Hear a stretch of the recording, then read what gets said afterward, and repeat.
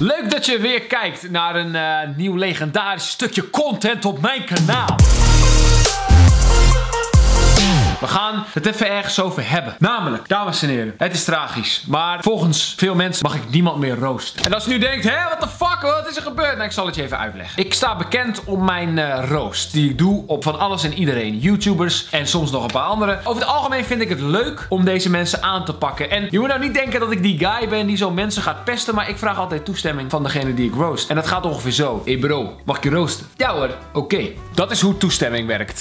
maar goed, daarnaast vraag ik ook vaak of er nog bepaalde onderwerpen zijn waar ze het liever niet over willen hebben. Bijvoorbeeld, ja, ik heb een gebroken teen en die is uit de kom en die vreet ik ook wel eens op elk weekend en dan groeit hij weer aan. Maar ik wil niet dat je het daarover hebt, want dat vind ik ongemakkelijk. En dan zeg ik, oké, akkoord. Maar ondanks die solide methode, vinden jullie het soms nog moeilijk om te accepteren dat een roast grappen mag bevatten die jij en ik stiekem toch maken als we met onze matties zijn, maar die we liever niet op de voorkant van een krant zouden willen zien staan. En toch maak ik ze, want ik, I don't give a fuck. Ik vind dat je overal over mag maken. Over de holocaust, over hongersnood in Afrika. Je mag het over elk beroep in de wereld hebben, inclusief prostitutie. Zolang je maar zegt dat het een grapje is. En dat doe ik met het maken van de roasts. Het is allemaal een grap. Maar nu ben ik laatst tot een schokkende ontdekking gekomen. Namelijk, uh, niet iedereen denkt er zo over. Nee, ik heb uh, meerdere berichten ontvangen van mensen die het, die, het, die, echt wel, die het echt moeilijk vinden om te accepteren. Dat als je een roast gaat kijken, dat er hier en daar een grof grapje in kan zitten. Nou ja, als je wil lachen en je kan geen grove grapjes aan, dan ga je lekker eerst de Kijken, joh. Of Sesamstraat, ook grappig. Of Spongebob, fucking grappig. Word, wordt geen vies woord in gezegd. Maar dan ben ik hier niet om jullie de les te lezen, maar ik ben hier om jullie te laten lachen. Ik ga eventjes naar wat reacties onder mijn roasts kijken, want soms is het te heftig en dan ineens is het weer niet heftig genoeg. Leun lekker achterover. Geniet van de wispelturigheid in het Nederlandse publiek. Ja, aangezien ik een maand op vakantie ben, moet ik toch wat filmen, dus... Uh...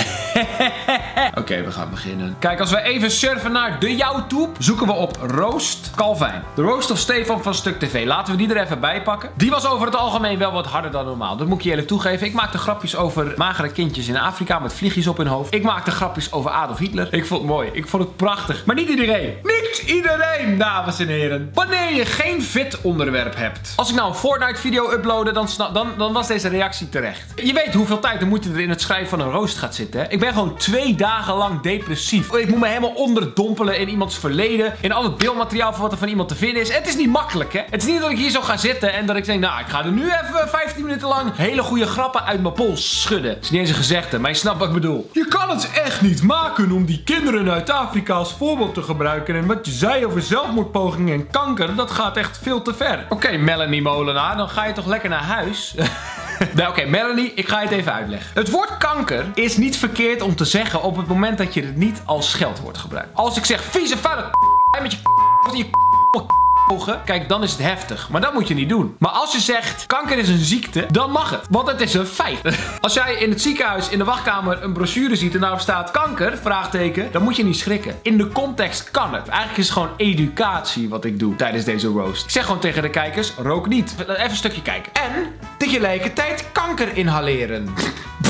Wikipedia. Kanker. Sigaretten. En je moet niet roken. Roken is slecht voor je. Daar krijg je dus kanker van. En nog veel meer andere rare dingen in je lichaam. Dus doe het niet. En dan verpak ik die boodschap in een joke. En dan is het nog steeds niet goed. Hoe kan ik het wel goed doen, mensen? Hoe kan ik dit oplossen? Vertel het me alsjeblieft.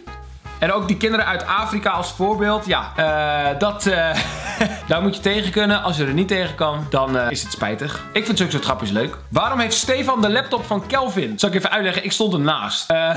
kijk, de decembermaand was fucking intens. En jongens zoals Stefan, die zijn gewoon druk. En het is soms lastig om een momentje te vinden waarop je zegt... Hé hey, gast, ga even lekker zitten, pak je laptop, pak een camera, film jezelf, stuur het op. Dat kan. De meeste mensen kunnen dat. Maar Stefan was heel druk die periode. Toen zei ik, fuck it, ik moet het vandaag hebben. Ik rijd die tand kant op. Vertel me waar je woont we rijden daarheen en we gaan daar filmen. Dus dat heb ik gedaan. En ik stond ernaast, terwijl hij reageerde. En het was uh, een van de meest ongemakkelijke dingen ooit. Ja, je bent gewoon 15 minuten lang iemand kapot aan het schelden. En daar sta je dan naast. Dat is een ervaring, dat kan ik je vertellen. Gast, praat normaal. De shine stijgt naar je hoofd. What the fuck? De shine stijgt. Ik zal je even laten zien. Hier, dit is de shine.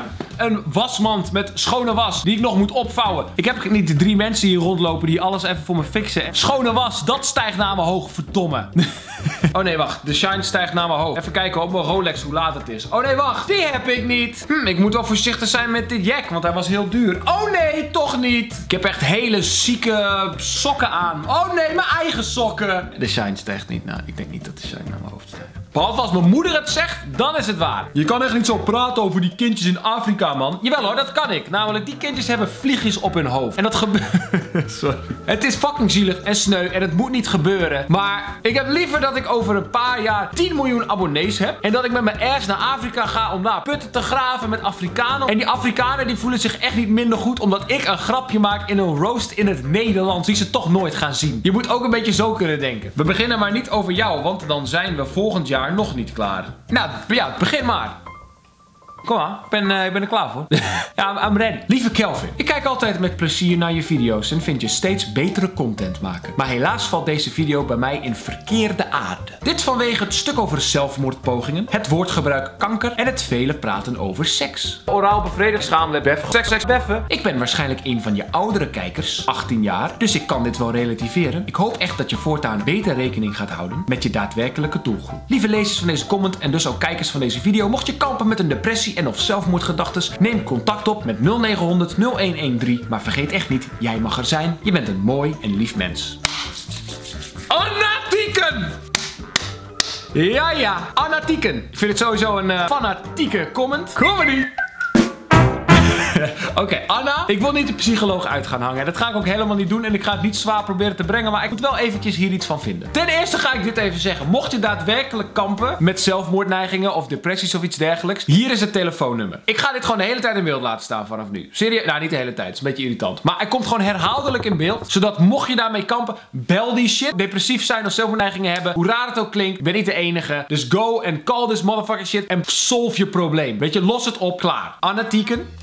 Meid. Sowieso 100.000 mensen zien het telefoonnummer. Hopelijk kun je mijn bijdrage waarderen. En dan ga ik nu eventjes iets vinden van jouw reactie. Want oh boy, wat vind ik ervan?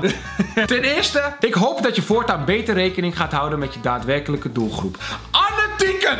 Wat is mijn daadwerkelijke doelgroep? We pakken even de statistieken erbij en dan zien we dat uh, mijn daadwerkelijke doelgroep tussen de 18 en 24 is. En dan zal dat natuurlijk niet helemaal kloppen, maar uh, ik denk dat als jij 18 jaar bent dat je heus wel een keer het woord seks gehoord. Jazeker. En nou weet ik natuurlijk dat er best ook wel wat jongere mensen kijken. Maar dat is niet aan mij dat ik mijn taalgebruik moet gaan aanpassen op basis van het feit dat iemands 11-jarige broertje ook meekijkt. Ik ga voor eens en voor altijd zeggen, lieve Anatieke. Ik maak mijn video's voor mensen van mijn leeftijd. Ik ben 22. Ik vind wat ik maak vet. Mijn vrienden vinden het vet. Mijn buren vinden het vet. Mensen van mijn leeftijd vinden het hard. En dat er dan een 12-jarige moet kijken. Die is van harte welkom. Maar het is wel aan mama of papa om ervoor te zorgen dat die persoon niet in aanraking komt met de verkeerde dingen. Of met woorden die hij misschien niet hoort. En daarnaast, het woord kanker, zolang het niet als geld wordt gebruikt, is er niks mis mee. We kunnen wel doen alsof kanker niet bestaat. Maar het is een feit. Het is een ziekte. Sommige mensen hebben het. Het is verschrikkelijk. Mensen gaan het dood aan. Maar als het er niet als geld wordt gebruikt, zie ik niet wat het probleem is. Maar goed, Anatieke, misschien heb ik het mis, hè? Misschien heb ik het mis. Nogmaals, mocht je echt met zelfmoordneigingen zitten. Ik weet ook dat ik kijkers heb die niet helemaal goed in hun vel zitten. Bel dit nummer. Doe het. Deze video ging er echt over. Je kan wel eens lachen, maar met bepaalde zaken lach je niet. En al zeker niet op de manier waarop jij dat doet. Oké. Calvin, je moet niet veel zeggen. Jij doet ook geen ene fuck. Jij krijgt ook gewoon geld voor achter een camera achterlijk doen voor de kinderen met uw grote mond. Als ik achter de camera zou zitten, dan zou dit. Nou, dit is inderdaad makkelijk geld verdienen. Jazeker. Maar goed, eh, omdat ik toch jullie tegemoet wilde heb ik een uh, roost gemaakt van onze grote vriend Enzo Knol. Nou, dat was ook weer een momentje hoor, hey. Die roost is heel vaak bekeken, die is over het algemeen ook goed ontvangen. Maar daar ging het weer helemaal de andere kant op. Ik weet het ook allemaal niet meer. Ik ga jullie het laten zien. Kijk, ik ga ervan uit dat jullie niet dagenlang door mijn comments aan het scrollen zijn. Dus ik zal jullie dit even te vertellen. De roast of Enzo Knol is op dit moment 600.000 keer bekeken. Hij staat twee dagen online. 5000 comments. Dat zijn prestaties, papi. Hey. Maar kijk even gezellig mee naar uh, de comments onder deze video. Sorry Kelvin, een erg matige roost. Nou, daar gaan we hoor. Dit is een boek wat hieronder staat. Beetje jammer dat je Stuk TV je moet helpen met het leveren van screenshots, terwijl dat enkel bewijst hoe doorzichtig Giel en Stuk TV is. Beetje naïef om te denken dat Enzo mee wil doen aan jachtseizoen na alles wat er is gebeurd. Daarnaast zit het waarschijnlijk een screen in het voordeel van de roost. Niemand weet wat Enzo daarvoor of daarna nog heeft gestuurd. Sorry, sorry. En iemand terugpakken op het feit dat het uit is met zijn vriendin en dat zijn vader hem heeft verlaten of over zieke kinderen. Kom op, ik snap dat het roosten is, maar beetje waardigheid kan wel. Begon het meer te lijken op de roost van D in plaats van Enzo. Het is ook nooit goed. Het is ook nooit goed. Ik mag niemand meer roosten. Waar maken we ons druk om, jongens? Maar goed, nog net zoveel liefde voor iedereen. Kelvin, Enzo, Stuk TV en D. Hopelijk fijne kerstdagen, bla bla bla. Wat een fucking bullshit. Ik vind dit echt een stomme comment. Ik heb toch Enzo al alles laten zien. Ik heb toch eens zo gezegd, luister vriend, ik maak een grap over je vader. Ik maak een grap over D.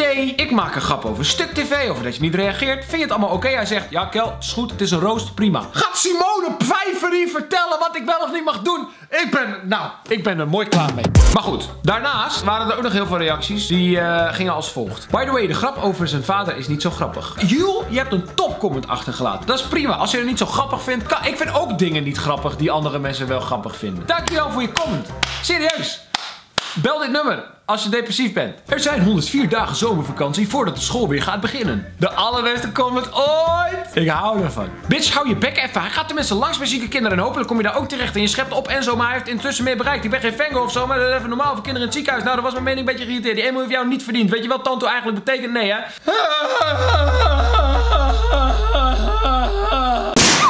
Moet je voorstellen dat je bij de Comedy Central roast bent. En dat iedereen in de studio daar zit. En dat Peter Pannenkoek begint en maakt iemand helemaal kapot. En iedereen staat op en denkt, nou dit is echt te heftig man. Ik had echt niet verwacht. Maar goed, ongeacht het feit dat heel veel mensen het te heftig vonden. Zijn er ook mensen die dit zeggen. Sorry Calvin, maar dit is echt een kut video. Je roasts zijn echt slap. Wat moet ik hiermee vertellen?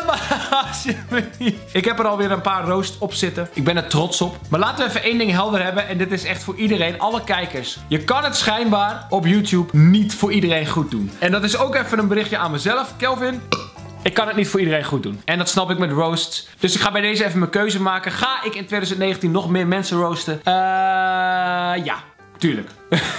Wat was dit ook voor video? Ik weet het ook niet, joh. Ik zit lekker met mijn reet in Thailand.